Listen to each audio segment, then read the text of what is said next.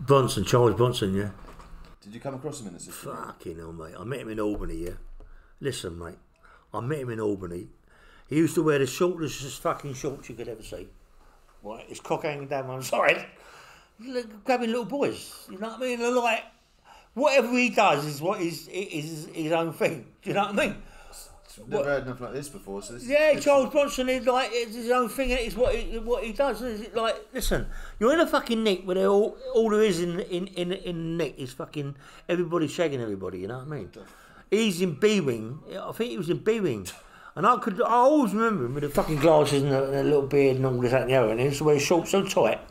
Walking around, they're like, you've got to remember, you've got a nick. That's what it's like in there, mate. Oh no. That's what it's like in there. And you, you see these people and you're thinking, yourself, what the fuck? Do you think he's a bender? Listen, they're all fucking benders. Everyone, listen, I see people in there, right? Proper fucking people, right? The Barrys, you know the Barrys? I've heard of. Johnny Barry, Parky Barry, got done, took over from the Krays. Yeah, yeah. Same. Oh, Same. I know 'em really well, nice people. Johnny Barry, Barry Parky Barry, fucking dangerous, dangerous, dangerous fucking people.